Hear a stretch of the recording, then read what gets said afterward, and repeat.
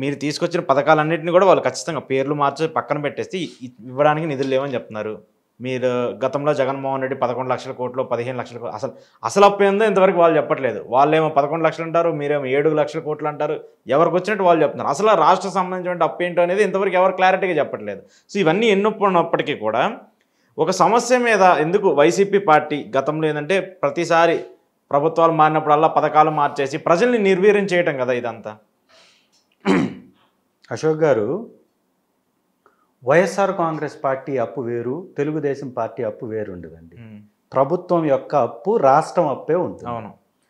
చాలా స్పష్టంగా ఏకంగా మాజీ ముఖ్యమంత్రి గారు మా పార్టీ అధ్యక్షులు వారు చాలా స్పష్టంగా ఈ రాష్ట్రం యొక్క అప్పు దాదాపు ఏడున్నర లక్షల కోట్లు ఉమ్. ఇన్క్లూడింగ్ తనఖా పెట్టినటువంటి గ్యారంటీ అప్పులతో సహా వివిధ కంపెనీల దగ్గర నుంచి వివిధ సంస్థలు తీసుకున్న అప్పులతో సహా కలిపి ఏడున్నర లక్షల కోట్లని చాలా స్పష్టంగా చెప్పారు. దాంతోపాటుగా చంద్రబాబు నాయుడు గారు దిగిపోయే కాలానికి నాలుగు లక్షల కోట్ల రూపాయల అప్పు ఆ రోజు ఉంది. ఆ తర్వాత ఎఫ్ఆర్బిఎం పరిమితులకు లోబడి మన రాష్ట్ర ప్రభుత్వం తీసుకొచ్చినటువంటి అప్పు కేవలం మూడున్నర లక్షల కోట్లు మాత్రమే. ఇది మించే అవకాశం లేదు. ఎందుకంటే కేంద్ర ప్రభుత్వం ఇచ్చినటువంటి ఒక నిబంధన ఉంది. ఎఫ్ఆర్బిఎం లిమిట్స్ ఉన్నాయి. దీంతో పాటు ఏవైతే డిస్కామ్లు తీసుకున్నటువంటి అప్పు కానీ వివిధ సంస్థలు తీసుకున్నటువంటి అప్పులు కానీ అన్నీ కలిపి కూడా ఏడున్నర లక్షల కోట్ల నుంచి ఎనిమిది లక్షల కోట్లే. ఇది చాలా స్పష్టంగా చెప్పారు. ఇదే విషయాన్ని నిర్మలా సీతారామన్ గారు కూడా చెప్పారు.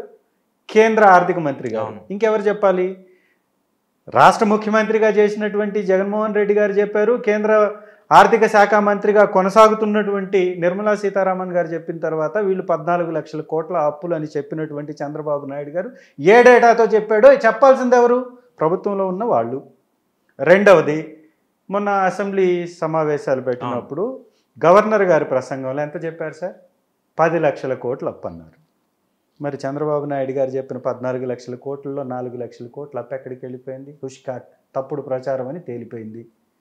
చంద్రబాబు నాయుడు గారే ఒప్పుకున్నట్టు ఇదే పవన్ కళ్యాణ్ గారు ఒప్పుకున్నట్టు ఇదే బీజేపీ పార్టీ ఒప్పుకున్నట్టు పది లక్షల కోట్లు కూడా లేదులే యాక్చువల్గా. ఎనిమిది లక్షల కోట్ల లోపే ఉంది మొత్తం అప్పు. రైట్. చంద్రబాబు నాయుడు గారు ఏం చెప్పారు సార్? పద్నాలుగు లక్షల కోట్ల అప్పున్నటువంటి ఈ రాష్ట్రానికి సంపదని సృష్టించి నేను పథకాలు ఇస్తాను అన్నాడు. మరి పద్నాలుగు లక్షల కోట్ల అప్పు ఉంటేనే నువ్వు పథకం ఇస్తాను అన్నటువంటి వ్యక్తివి కదయ్యా? నాలుగు లక్షల కోట్ల అప్పు లేదు అని నువ్వే చెప్తున్నావు. పది లక్షల కోట్ల అప్పే అంటున్నావు. నువ్వే ఈ పథకాలన్నీ అమలు పరచాలంటే లక్ష కోట్లు కావాలని నువ్వే చెప్తున్నావు. ఒకవేళ నిజంగా నువ్వు అనుకునేదే రైట్ అయితే లక్ష కోట్లతోటి ఈ అప్పు ఈ పథకాలు ఇవ్వగలిగినట్లయితే మరి నాలుగు లక్షల కోట్లు అప్పు తక్కువ కనపడుతుంది కదా ఇప్పుడు. ఆ అప్పుతోటే నువ్వు ఇచ్చేయచ్చు కదా నాలుగు సంవత్సరాలు. రెండవది ఎక్కడ అప్పు ఉంది? ఎంత అప్పు ఉంది? నీ చేతిలో కదా వ్యవస్థలు ఉంది? బయట పెట్టొచ్చుగా? శ్వేతపత్రాల పేరుతోటి తప్పుడు పత్రాలు ఎట్లా నీకు అలవాటే కదా పెడుతూ ఉంటావు? నువ్వు ఇస్తానన్నటువంటి పథకాలను ఎగ్గొట్టడానికి చంద్రబాబు నాయుడు గారు శ్వేతపత్రాలు రిలీజ్ చేశారు ఒక పోలవరం మీద. ఆయన విడుదల చేసినటువంటి శ్వేతపత్రాన్ని నిపుణుల కమిటీ వీళ్ళేసినటువంటి కమిటీయే తప్పని తప్పుడు పత్రాలని నిరూపించింది. చెప్పింది. అంటే ఏంటి మీరు చెప్తుంది?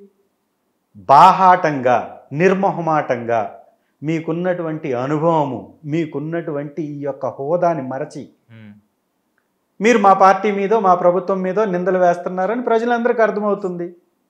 సో పోలవరాన్ని అటకెక్కిచ్చేసి నాలుగు సంవత్సరాలు ఐదు సంవత్సరాల వరకు మేము కంప్లీట్ చేయమని చెప్పేశారు. ఆ విధంగా దాన్ని పక్కనకి నెట్టివేశారు రెండవది అమరావతి ఏపీ అంటే అమరావతి పోలవరం అన్నారు. పోలవరాన్ని అటకెక్కిచ్చేశారు. ఏ అంటే ఇంకా అమరావతి. సార్ ఎక్కడ సార్ అమరావతిని మీరు కడుతుంది. నిజంగా అమరావతికి మీరు చేరుకోవాలి అని కానీ ప్రయత్నం చేస్తే ఒక సామాన్యుడు చేరుకోవాలని ప్రయత్నం చేస్తే మూడు గంటలు వ్యవధి పడుతుందండి. ఓకే. విజయవాడలో దిగాలి బస్ కోసం అన్న వెయిట్ చేయాలి. లేదా మీరు అక్కడికి పోవడానికి మీ సొంత కారులన్నా వెళ్ళాలి. ఆ అమరావతి అనేటటువంటి ప్రాంతం గుంటూరుకి దగ్గర కాదు విజయవాడకి దగ్గర కాదు. గుంటూరు నుంచి ఇరవై రెండు కిలోమీటర్ల లోపలికి పోతే. ఆ ప్రాంతం వస్తుంది. మొన్న రీసెంట్గా ఒక నిపుణుల కమిటీ దాన్ని కూడా ఉమ్. ఎలా వెళ్ళారు? బోటుల్లో. అంటే వర్షపాతం నమోదైందా? నమోదైంది. మిమ్మల్నే కదా కాదండి. నమోదైందా వర్షపాతం? దాని అంతటి కారణం మిమ్మల్ని చూపిస్తుంది? జగన్మోహన్ రెడ్డి ఈ ఐదేళ్ళు ఇలా పెట్టబట్టే కదా అమరావతి పేదల భూములు ఇచ్చి రాజధాని కట్టమని ఇస్తే ఇలా అడవుల్లాగా తయారైందని చెప్పేసి మీరు ఎన్ని సంవత్సరాలు పరిపాలించారు. మీరు ఎన్ని సంవత్సరాలు పరిపాలించారు? పరిపాలించారు. ఐదేళ్ళు ఎందుకు గట్టలేకపోయావు. ఐదేళ్ళు కేవలం పునాదులు వేసావా? అంటే నువ్వు ఐదేళ్ళు పునాదులు వేస్తే మిగిలిన ఐదేళ్ళలో అపార్ట్మెంట్లు అయిపోతాయా. నిర్మాణం జరిగిపోతుందా? నీకు మాత్రం పునాది తవ్వడానికి ఐదేళ్ళు పడుతుంది. తర్వాత వచ్చినటువంటి ప్రభుత్వం మాత్రం అద్భుతాలు సృష్టించాలి. మీరు మళ్ళీ ఆ పునాదుల్లోకి పడవలేసుకొని వెళ్ళి నిపుణుల కమిటీ సందర్శిస్తుంది.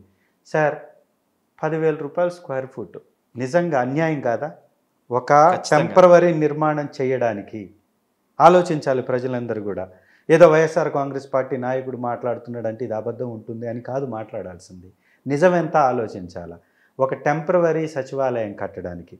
ఒక టెంపరవరీ సెక్రటరీ. సెక్రటరియేట్ కట్టడానికి. హైకోర్టు కట్టడానికి.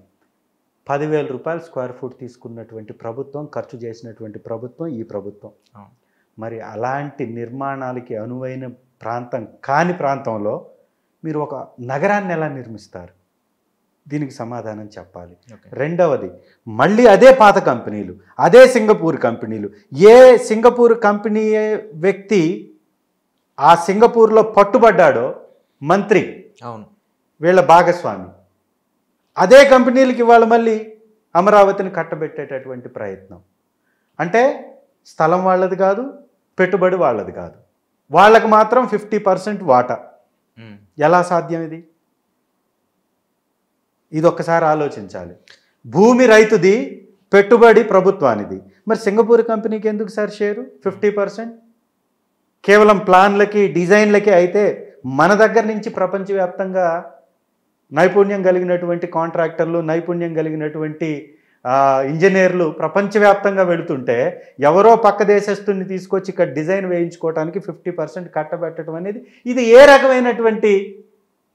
ఉపయోగకరం రాష్ట్రానికి ఒక్కసారి ఆలోచించుకోవాలి. కాబట్టి వాళ్ళ గురుకుల పాఠశాలలు విద్యా వ్యవస్థను తీసుకున్నాం ఒకసారి. ఇంపార్టెంట్ ఏంటండి? రాష్ట్ర భవిష్యత్ అంటే విద్యార్థుల భవిష్యత్. అవును. గురుకుల పాఠశాలలో కాకినాడ జిల్లా ఏలేశ్వరం అనేటటువంటి గురుకుల పాఠశాలలో కలుషిత ఆహారం తిని ఇరవై నాలుగు మంది విద్యార్థులు అస్వస్థతకు గురయ్యారు.